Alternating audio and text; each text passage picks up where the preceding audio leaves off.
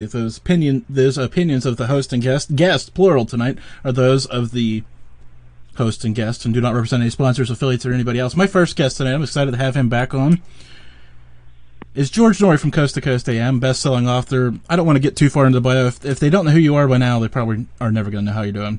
How are you doing tonight george Jimmy, I'm great. Looking forward to being on your program, the Malliard Report. I've heard so many good things about it. You finally corralled me and got me on.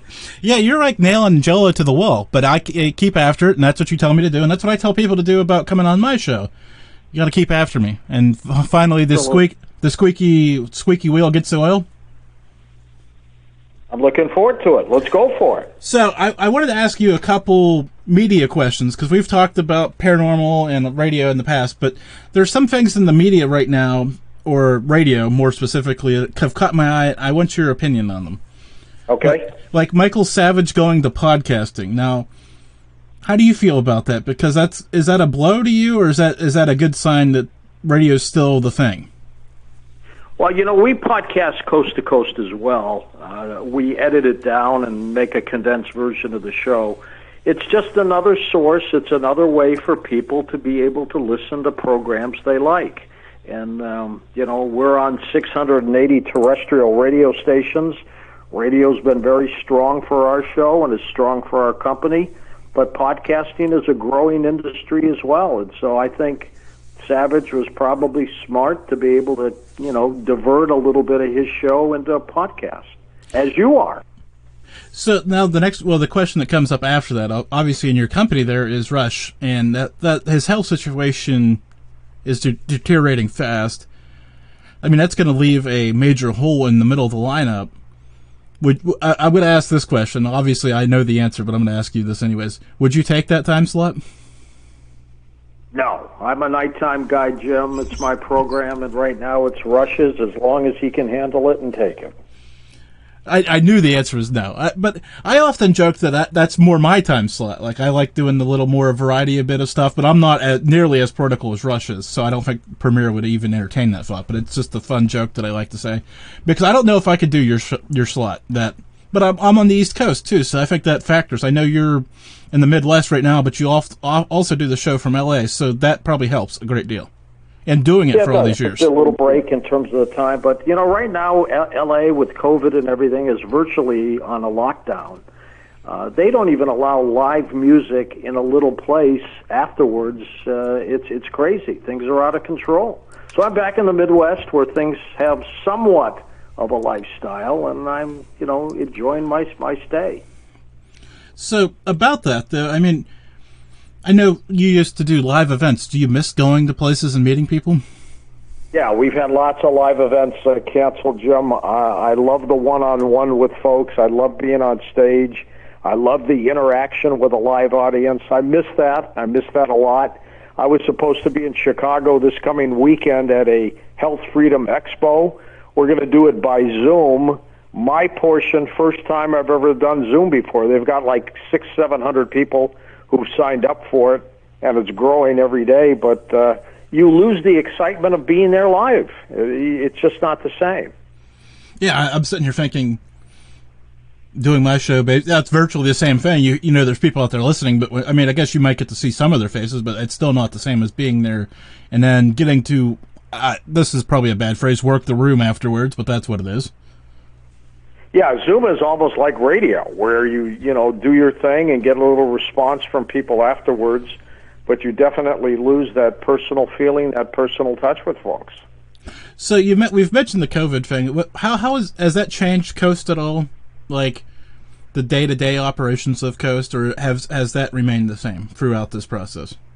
Well, a lot of people are working from home or wherever they were working before uh, but it, it's been an effect on every business, every person, and it's going to have an effect on people after the fact. If and when things get back to what we used to call normal, I think people are used to working out of their homes, working out of wherever they were working before, and companies are going to take a look at their leasing arrangements with the buildings they're in and go, "Whoa, gosh, we don't need this kind of space. We can get 50% of our employees to do exactly what they were doing and working out of their own house. Let's cut this. It's going to have an impact on everybody. Yeah, I, I was talking to my wife about that the other day. I said, "We're you know everybody's worried about all these businesses closing," and I said, "Yeah, that's that's a problem." But the other problem is going to be the um, office space is going to just be vacant too, because like you were saying, if everybody can work from home or a majority and have a smaller actual physical, I mean, there's tons of space that's going to be available in a bri- variety of markets. Let alone, I know here in Pennsylvania they did a uh, eviction freeze, so you couldn't free, you know, couldn't evict anybody. And eventually, that's going to come due, and that's going to be just a sloppy mess when all these evictions come up. Absolutely. I would not like to be in commercial real estate right now, Jimmy. Not in the least. So, what, what what's the what's the next few years hold for George Noory? You, are st- I, I mean, I, I I always tell people when they ask me about you. You said on this program that uh, they'd be basically pulling the mic out of your cool dead hands. Is that still where we're at with um, your future? No no plans of slowing down. No, absolutely. I mean, we're into our 18th year, and I'm just going to keep going, God willing, as long as I can. Uh, the network and I are talking about extending the contract well into 20s, into the 2020s, deep into the 2020s, a decade. And uh, I'm just going to keep going. You know, if the voice can stay young, you could be 120. Who cares, right? It's radio. yeah, I mean, as long as the mind's sharp and the voice is there, I think, I mean, you can do it. Exactly. Who am I talking to? Who are you? well, that's okay. Uh, people ask me that all the time. It's okay. It's not nothing new. And more importantly, people ask, "Why am I talking to you?" But that's a whole other can of worms. Um, okay. Now I've I've seen this one come up, you know, but this is nothing new for you and me. We've talked about this before. The coast isn't the same it used to be even a couple years ago. Is uh, there's a tension behind this, right? You guys aren't just throwing mud at the, the wall you guys do have a vision for where you where it is today and where you, you, it needs to be going forward. You're just not slapping guests back to back to back. I, I did one thing when I came in, Jim, and I changed the format and went to two guests a night instead of one. The reason for that is is research was showing that if you got turned off by the first guest, you were gone. At least now we've got a better opportunity, the chance to keep that listener tuned in with two different people, two different types of stories, whether it's a harder news story and a paranormal one or something like that. And it's working for us. You know, when I took over, we were at 433 affiliates, and uh, we are now up to 680. That's absolutely unheard of for commercial radio these days. So something's working. Um, something has also changed. This planet is different. It's changed. People, just by COVID, look look what's happened to people.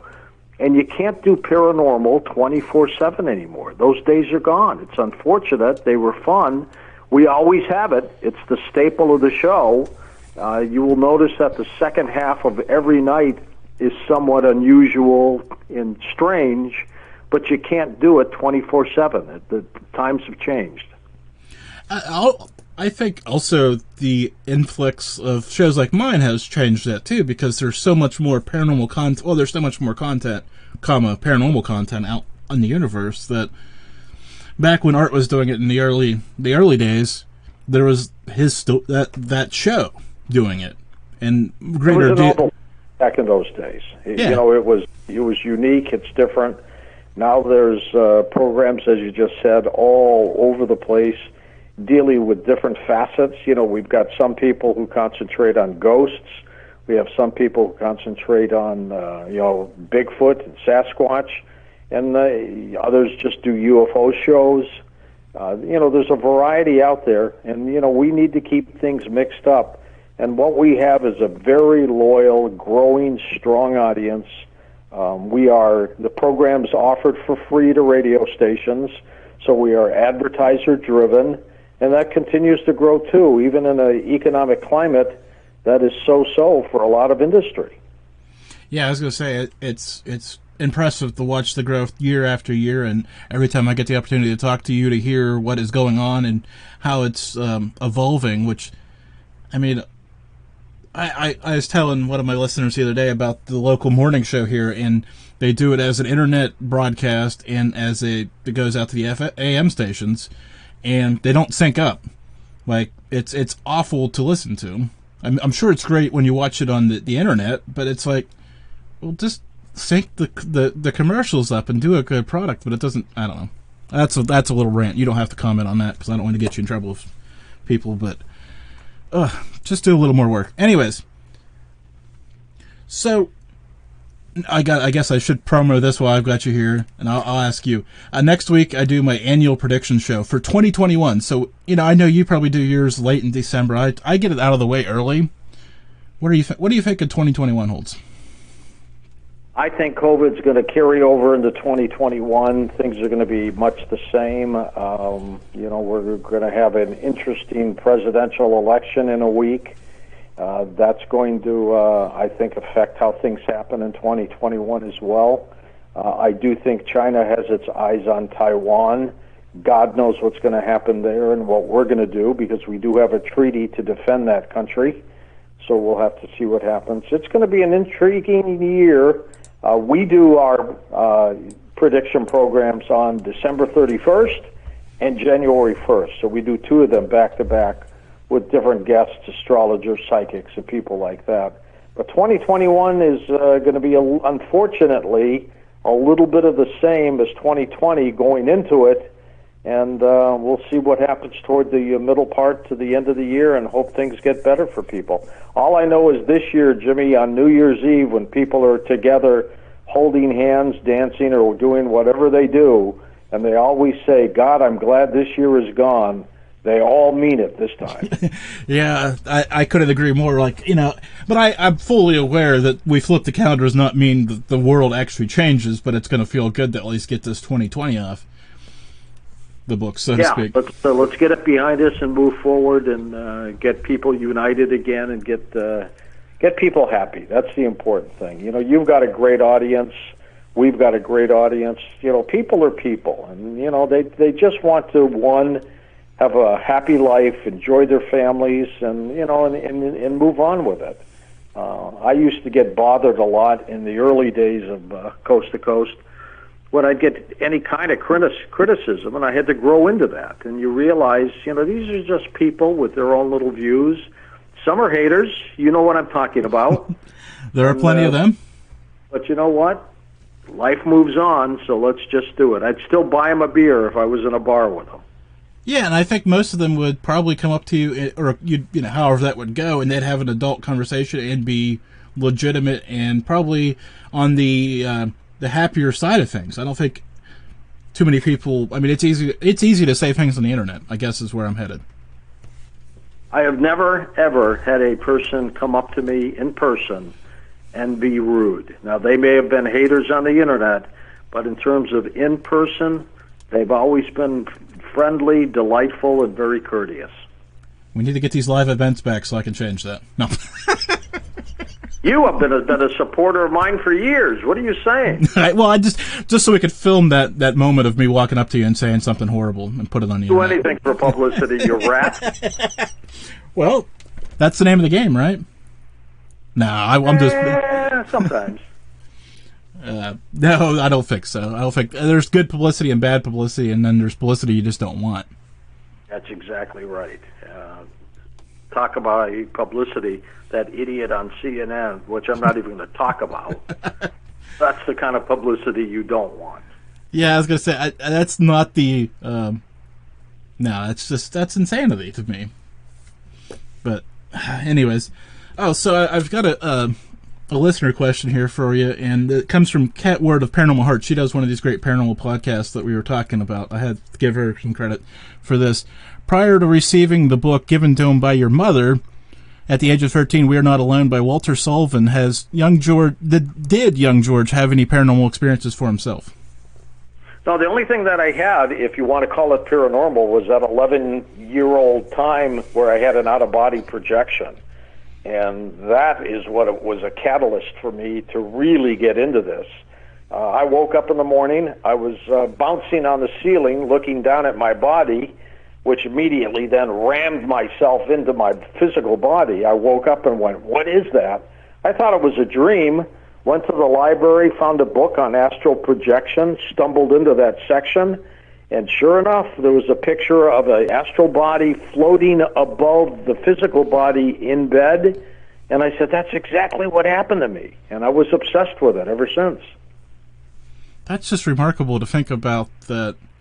A, you were that present and then able to find said stuff to help you. Absolutely. And the name of the book was Projection of the Astral Body by Hereward Carrington and Sylvan Muldoon. A great book. Oh, George, actually, Whitley's calling in right now. Do you want to say hello to him yourself, or should I just push you Yeah, off? whatever you want to do. Just introduce you. You know, just tell him I'm on the line so he's not shocked. Yeah, I will. Whitley, welcome to the Malliard Report. How are you doing this evening? Hi, it's Whitley Strieber. How are you doing? I've got George Noory on the line, actually just finishing up a little bit. Do you want to, just so you know, I actually got one more question for him, and then I'll be off to you. Okay? Okay, shall I call back or just hold? J- just hold for just a few seconds. George, okay, sure. uh, George, as as we're going through this, Whitley's here, and I, I'm talking to him about his new book, and I know you talked to him about that a couple days ago. Um, experiencers, how how are we defining them now? Are they still? I because I, know there's a lot of hoaxes out there. I guess I'm not wanting to put him in that category, but it's harder because everybody has a story. Do you follow what I'm saying? Is it hard for you guys to sort out the mud on Coast?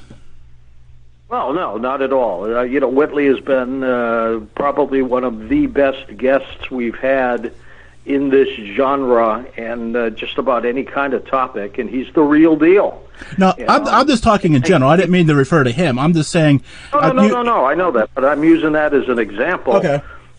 we we we vet people by interviewing them extensively and you know it's our job to try to find the best we can for our audience is it really happening to them we don't know and we'll never know but i believe people like travis walton and whitley strieber and people like that that these events have happened to um, the Socorro, New Mexico event a long time ago with the police officer, Lonnie Zamora. Something happened to him. So those are the kinds of guests we go after, and you know, and hopefully uh, the audience appreciates that. Well, George, I appreciate you immensely, and uh, thanks for taking the time. And we'll keep talking. Continue success, Jim. You're one of a good, one of the good guys. Thank you, sir. Have a have a good afternoon. Have a who, wait before you go. Who's on your show tonight? Well, tonight we're going to have to have Lynne McTaggart on for the last two hours, talking about intention experiments and her thoughts on COVID. In the first two hours, my colleague Ian Punnett has written a book about millennials, and he's on. So we're going to be doing it in a few hours. Well, thank you, sir, and have a good show tonight. Okay, and uh, best to Whitley. Whitley, thank you for joining me tonight, and thank you for allowing me to do that last little bit there. That's um, oh, sure. um, when he said he had time available, I just said sure, and then I looked at my calendar and went, "Oh no, I was already booked a little bit." So thank you for a delaying, and thank you for uh, being gracious there. Um, you're here tonight to talk about a new world, uh, your latest book. Um, yes. Uh, give me the. br- I have it in my hands, and I've only partway through, so don't spoil the end for me. Okay. but go ahead, and, go ahead and give the uh, the listeners out there who have not heard or seen anything about this a little bit about it. All right. Well, in a long time ago now, back in 1985, I had a very bizarre experience in the middle of the night on December the 26th, and I basically woke up in a room full of very strange-looking creatures who had me. Un- I could not. I was not mobile. I, I was trapped some, in some way that I didn't understand, and of course, I thought it was a nightmare and I kept trying to wake up. And finally, I had to face the fact that I, in fact, I was awake. And uh, I became upset. And then this suddenly, this voice turned on that said in a very mild, sort of female voice, "What can we do?" Kept repeating, "What can we do to help you stop screaming?" And the answer was, "Not a lot." unbelievably scary. I mean, it was just, and and I was, I was raped and not intentionally. They were they were doing their thing, and I was fighting like a a demon to get out of there. And uh, they hurt. They injured me in the fracas that resulted, and uh, then I had. They put me, returned me to my to my bed. Apparently, I don't remember that part of it. And I woke up the next morning obviously very strung out and unsure about what had happened. I thought that there had been some kind of a I, I thought there had been some kind of a disturbance in the house. I thought there'd been an owl. I decided that there must have been an owl in the house because these things have these big eyes, and my mind was just not really willing to let me accept my memories. And so I said that to my wife, and she was sort of perplexed because you know we it's the middle of the winter. We're out in the country all the doors and windows are closed up tight. There's no chimney. I mean, there was a chimney, but it was for a wood stove, so nothing could have come down that chimney and and lived because the stove was was was burning. So um, I was just at a loss. I couldn't think figure it out and why I would have these memories. And finally, I became became aware of the fact with, over the next couple of days I was really sore. I hurt I was beat up. I had a red mark on the side of my head, and my uh, down below was injured, and so I went to the doctor, and, and he was pretty frank about it. He said, after examining me, he said, "You know, you understand you've been raped." I said, "I don't know how that could be because I still didn't remember any of the things that happened." He said, "Well, something did this to you. You've been you've had a violent encounter of some sort. And I just was left his office in a state of complete freakout. I didn't know what to think. And um, I began to try to. F- I thought it was a criminal act. I, you know, it didn't occur to me of anything about aliens. I never thought of such a thing. I might have been interested in flying saucers when I was a kid in the 50s, but we all were. I mean, I certainly hadn't thought of that in a long time. So, uh, couldn't figure out what, why, what motive would there be? I, you know, I was a writer. I'd written a controversial book called Warday that had been, uh, uh, Senator Kennedy had read parts of it out on the floor of the Senate, and he was so impressed by it.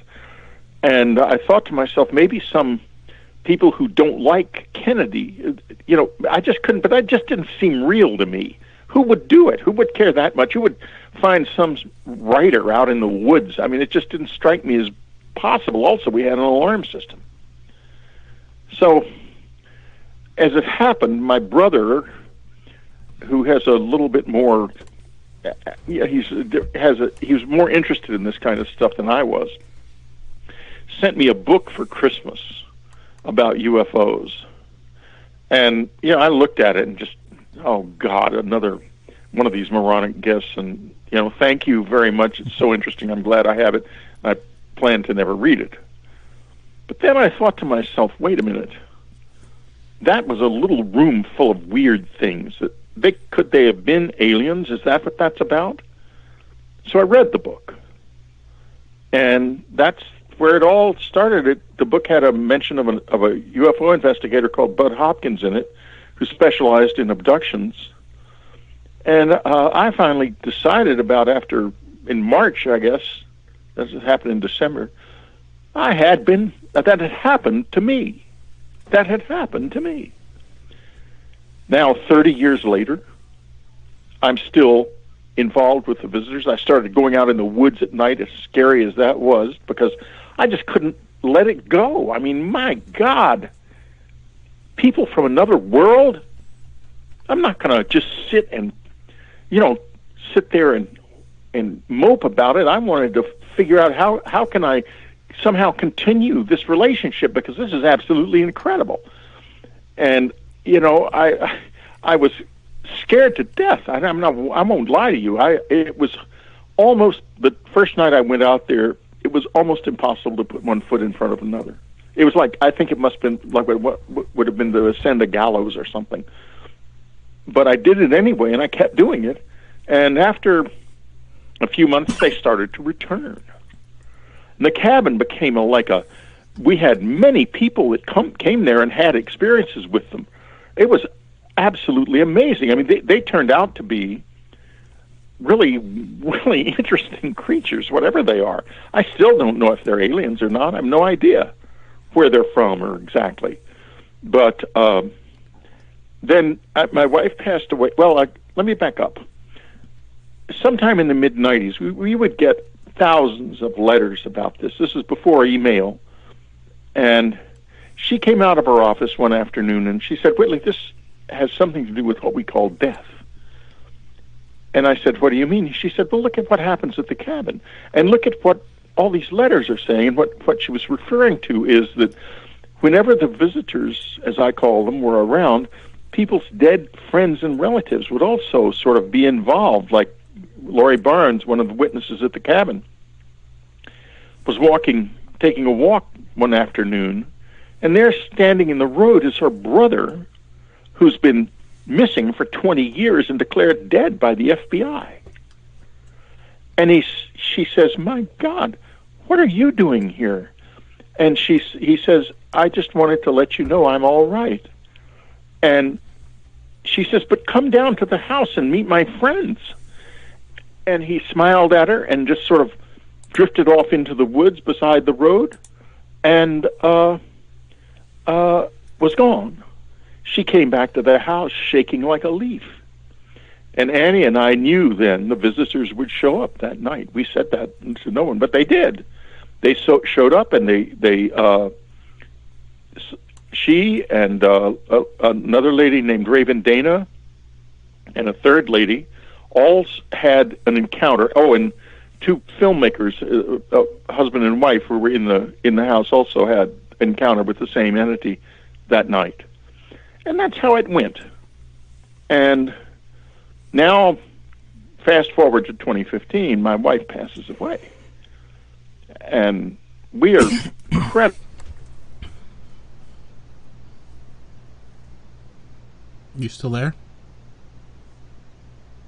Whitley, are you there? Well, that's a weird cut.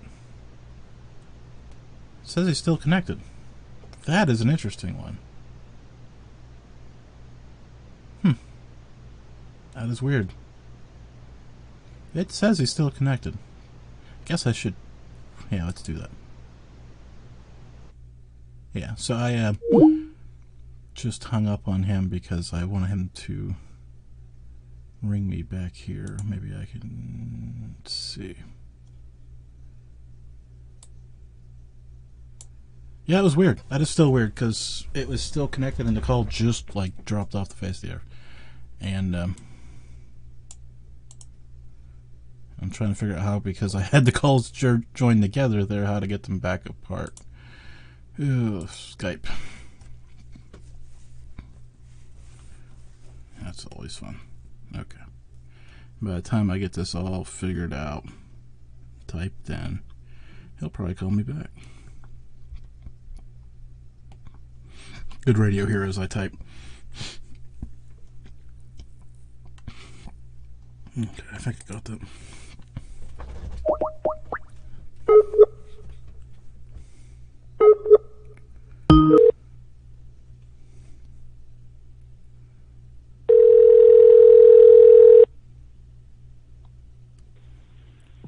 Hello? Welcome back. You you were just saying that your wife had passed and the call just dropped off the face of the planet. I thought you hung up on me. No, I didn't. I would not do that to Well, you. you, know, you can expect that with with me. You try. I have a podcast. Try running a podcast with all this craziness in your life. Uh, but let's let's keep on. Uh, uh, anyway, she passes on, and that later that night, the friend calls, and I'm and and proceeds to say, "The strangest thing just happened. I just heard Anne's voice in my ear telling me to call you." And I thought, "That's odd." I, I, and I said, "Well, honey, Anne passed away earlier this evening at seven fifteen, and."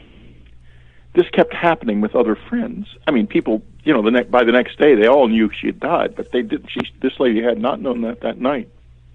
I don't think and uh, but it kept happening.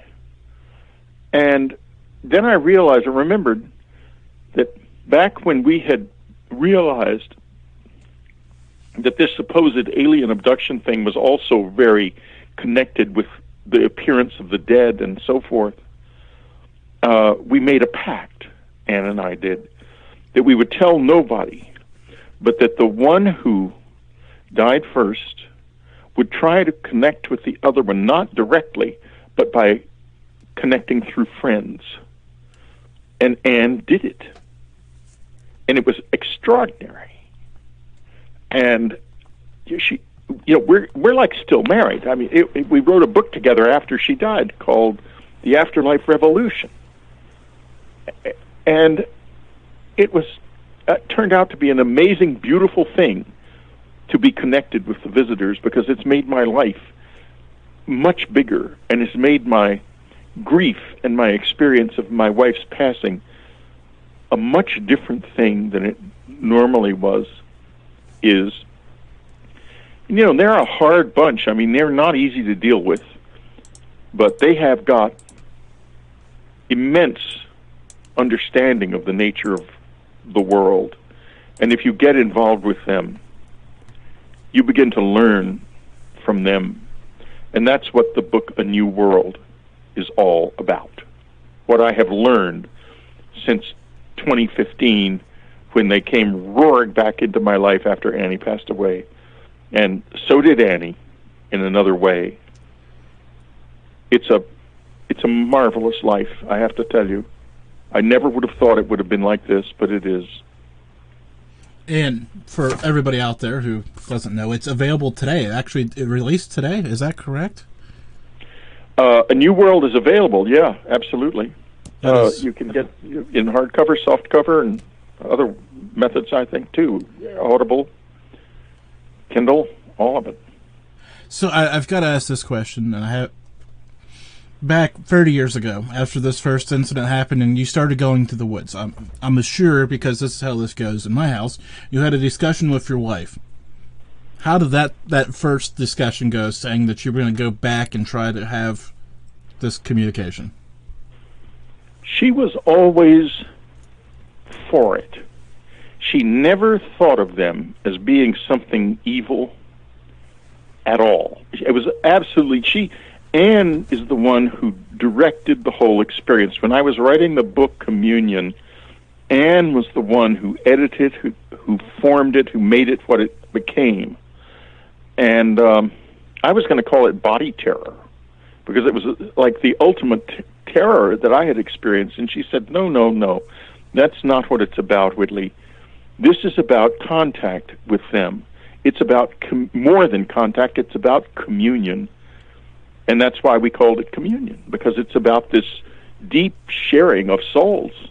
And uh, uh, that is what it's about, by the way, and it's how I live. I'm I share myself with this presence. I don't call them the visitors anymore. I just think of it as a presence.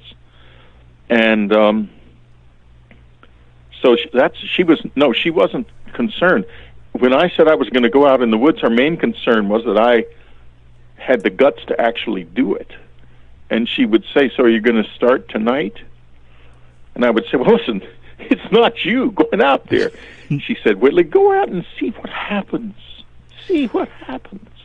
I said, What if you never see me again? What if I go out there and just disappear?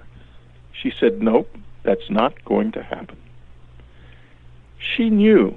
My wife was a magical person, and she was a brilliant just an extraordinary woman and totally capable of doing this.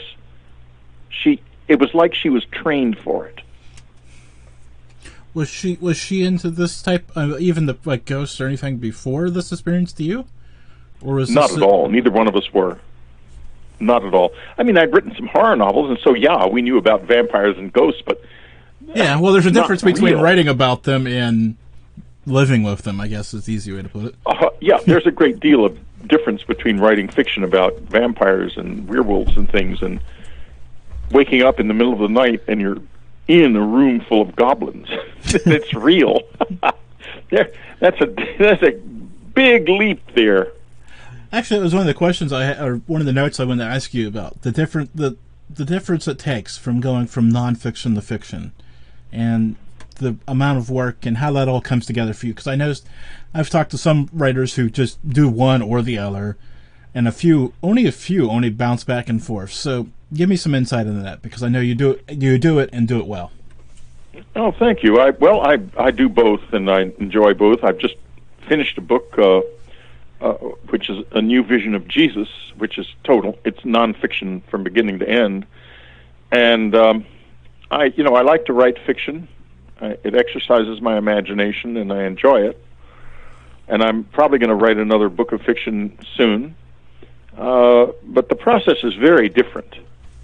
Fiction versus nonfiction is they're very different. Uh, f- nonfiction is intellectually rigorous.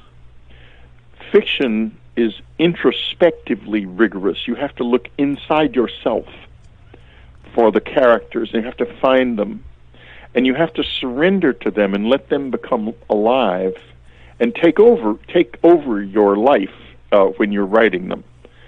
You have to belong to them. You are their instrument and their tool to express their experiences out in the world. They have to feel very real to you.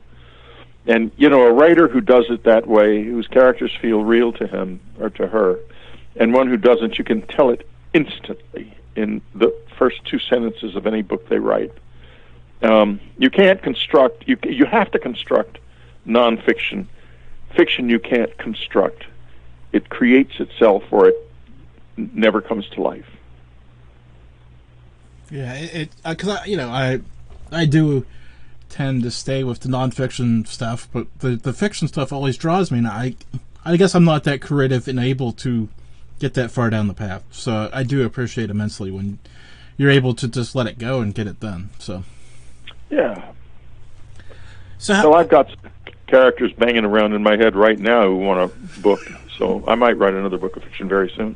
I was going to say so you, you obviously just got this book that came out today. You said you have got the next one done. Is that what I just heard? Yeah, I've, I've finished the manuscript. It's not. Well, yeah, going to be published. So you're you're probably starting on how many book ideas do you have like in a index card system or wherever you just throw ideas at? It's all in my head. Oh, so how how my index card system is in my head. In my head right now, I have a film script that a friend, a producer, wants me to write very badly, and that I'm probably going to write.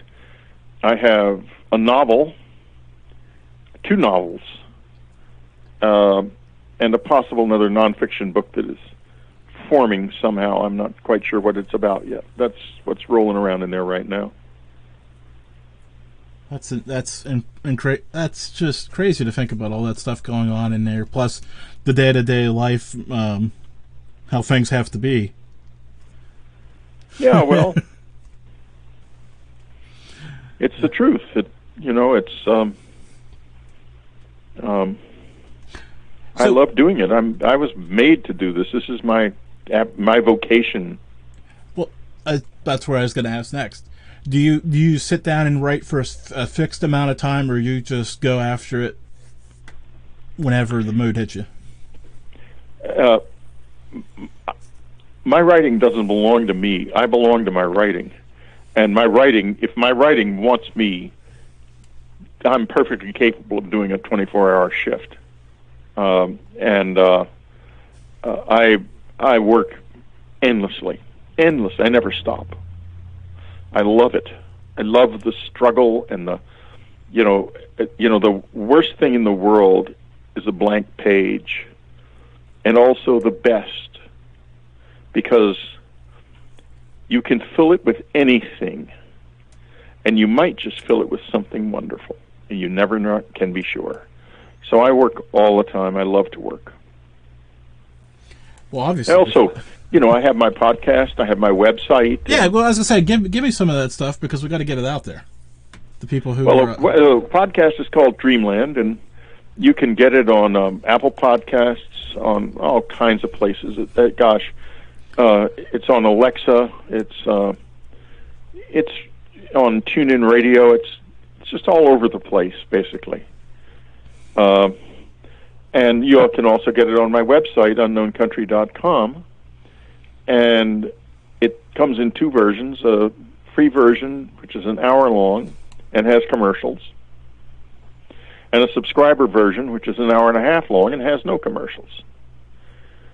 The website's got a huge archive of stories and all kinds of interviews and everything dating back to 2004. And it's got a big social media component with uh, weekly chats with me on Wednesday evenings and um, video meetings and uh, a free message board and all kinds of stuff. It's a it's a very very active site. Well, it keeps you active for sure. I mean, did I say its name? It's called unknowncountry.com. I think you did, but as the oh. joke as the joke goes, it's better to say it twice than not say it at all. right. So I want I want to go back through this. The, I mean, it was these. They've been with you for thirty years now, and it, it recently picked up again. Was there ever yeah. was there ever a time that you thought it was over? Yeah, many times. You know, they come and go on their own schedule. I can't predict it.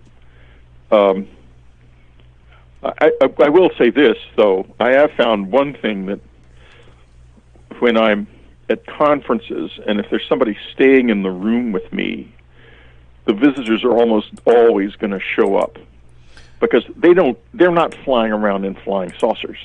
They come out of the air. I mean, they, their their methods of whatever they are, they are they are they have a completely different relationship to reality than we do. And even a few seconds with them to somebody who hasn't been with them a lot is extremely hard my co-author for my book before last, uh, Supernatural, Jeff Kripal, who is the, I believe he's the, uh, uh, he's in the, he's a professor of religious studies at Rice University and a good friend, was with me at Esalen a couple of years ago, which is this beautiful uh, sort of retreat on uh, in Big Sur in Northern California, overlooking the Pacific, and um, he was he wanted to stay in the room with me, and I said, Jeff, they're gonna be here because this room is so perfect. The room, it's first it was an isolated place, and the room had a little deck, and then there was a cliff overlooking the the Pacific Ocean, an ideal place for them. And they they always like isolated places, although they come to this apartment all the time. They're used to that, but if you're if you like I go to a city, a big hotel in a city, if I don't stay for three or four days, I'm not going to see them. But at Esalen, no question, I would see them. And so they show up in the room, and this is only one of them. It's a very brief meeting because there's something about the way they are that's different from the way we are. That's real hard for us. They are outside of time looking in is the best way to describe it i believe. We are inside time and when the the river of time if you get near them you're you're pulled out of the river of time. It's like being the confusion the total confusion of a fish being suddenly pulled out of the water something that seemingly couldn't happen so one of them comes in and they wants to meditate with me meaning it would wake me up by touching me on the usually on the hand or blowing in my face or something. And then I'll go sit and I'll meditate. And usually I don't see him. Sometimes I see him when I'm meditating, not often. But it also woke Jeff up. And he said he said he heard this crashing sound like the whole world was crashing down around him. And then he said I heard my own voice somewhere inside me cry out, "Oh my God." And it's because there's a total implosion of your reality when they get near you, unless they are very, very cloaked, very, very suppressed, I would say.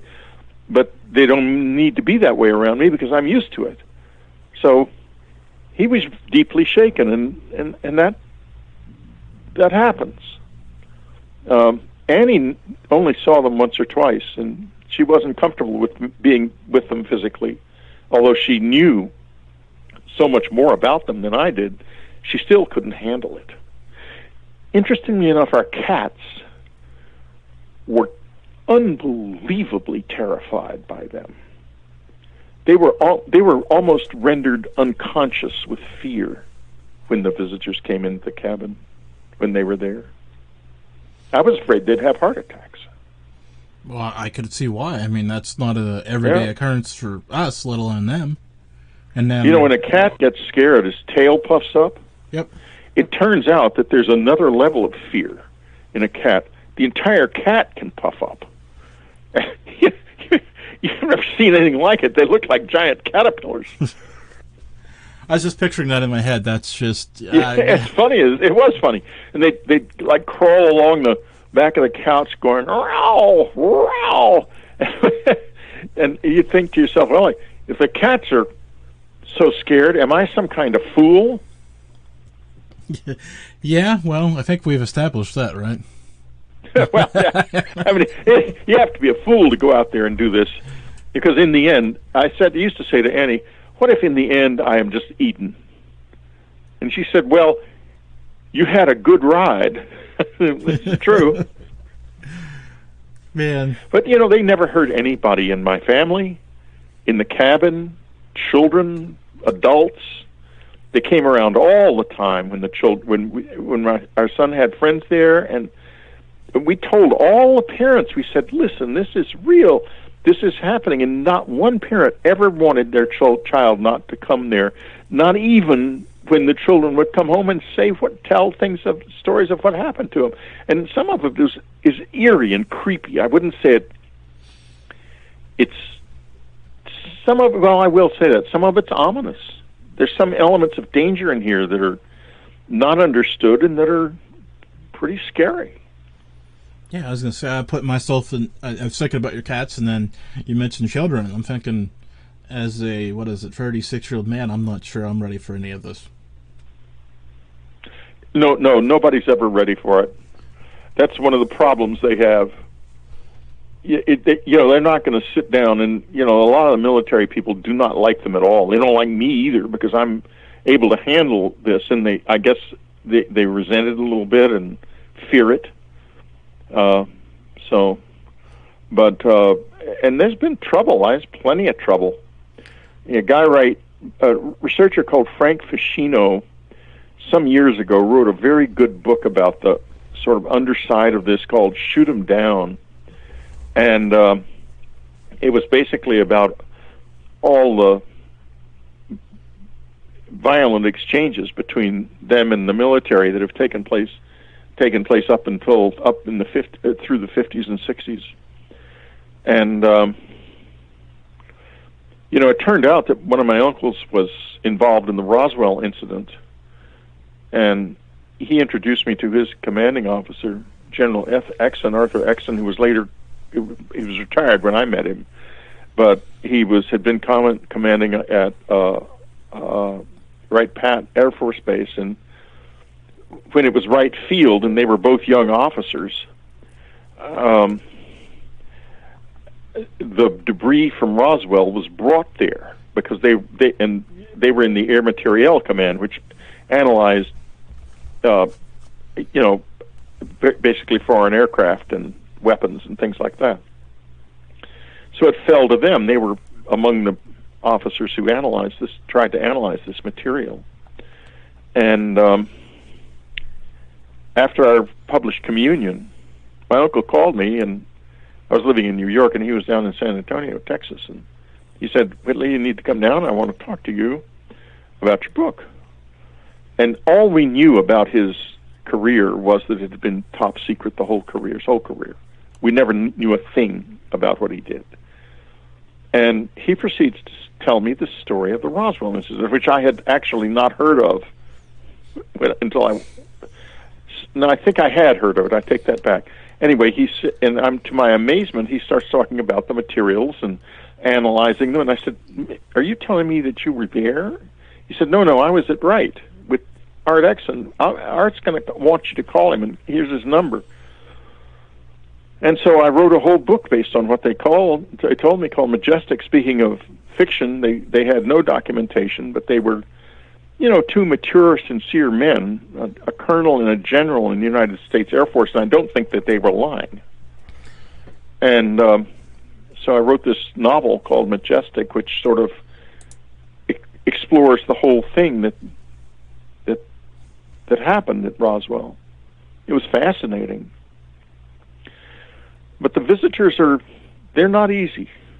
And the book A New World is based on something that a an intelligence officer who wrote his own book about this subject uh, uh, said that he had had, and his book is, I'm not sure it's all true or, you know, the memories in it are kind of screwy. I mean, he himself was was very plain spoken about it. He said it was just all so strange. I did my my best, um, and. Um, at one point he was in a situation where he was able to ask them one of them a question. And he asked what is in it for us? And the answer was a new world if you can take it.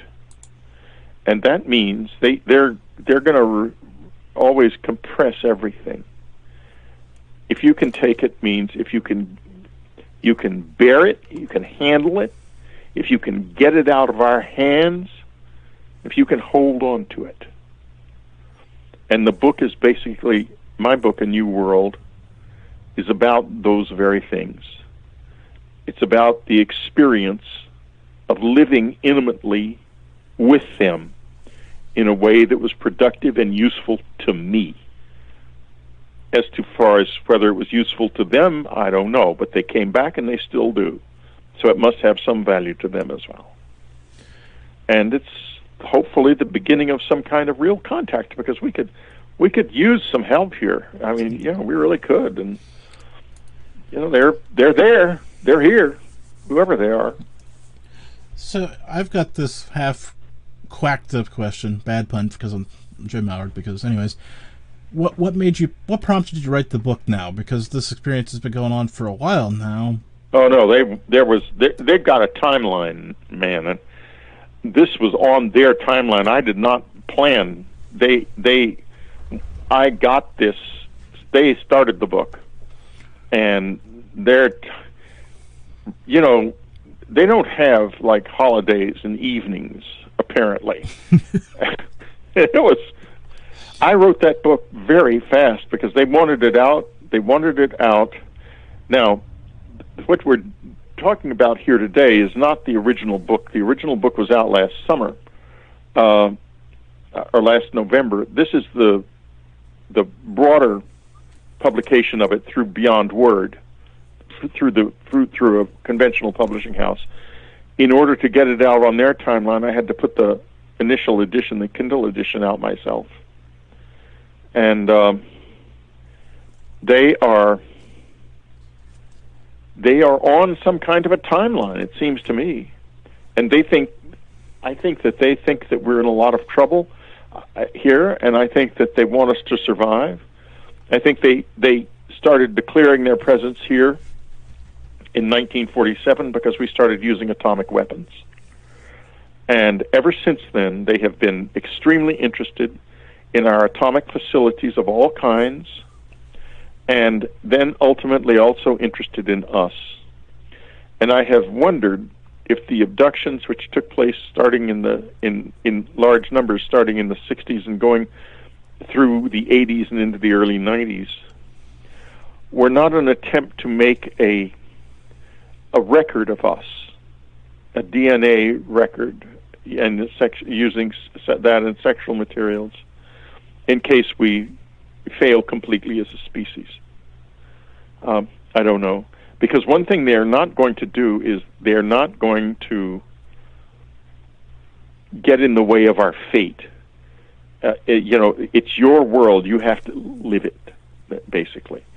And they they're very aware of, at least they have been in my life, of cultural colonization. That is to say, when someone of much greater technological prowess comes into the li- lives of someone with less, the person, the individuals with less, totally focus on on the ones with with more, and they they lose all of their own indiv- indiv- individuality and integrity. And you see that all over the world, all, wherever the European empires went, with their beautiful silverware and cutlery and knives and guns and all that stuff. The local people just forgot about their own world and, and became totally dependent, and they don't want that to happen. So at the same time, they don't want us to to go under. So they're kind of walking a tightrope. They're going to do as much as they can to help us.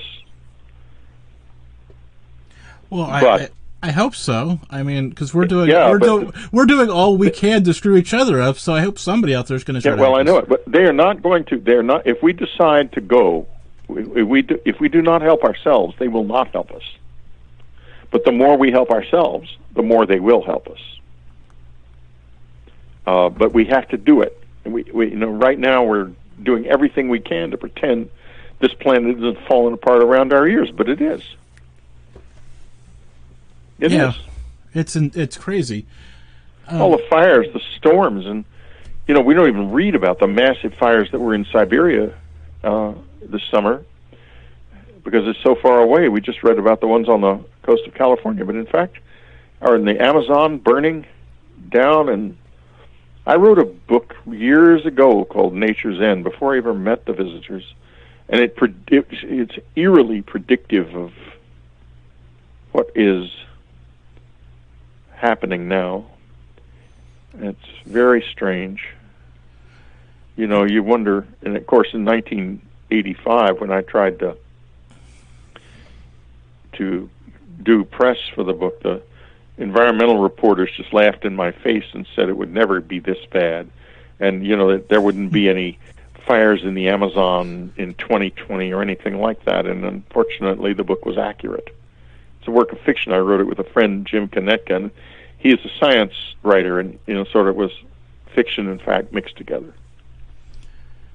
It's it's scary where we're at today. I mean, compared to where we were and where where we could be headed, it just blows my mind at times.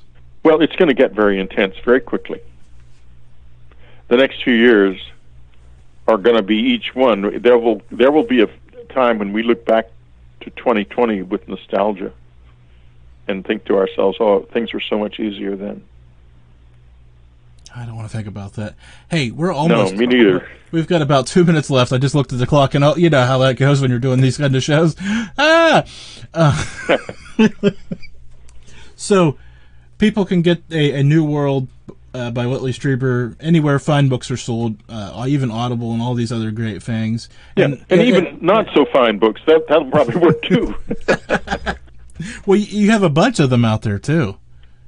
Well, I don't have too much in print right now. And New World is in print, and Afterlife Revolution is in print, and uh, Superstorm, and uh, not Superstorm, um, Supernatural is in print, and a book called The Key. I think those are the ones that are actually available in the stores.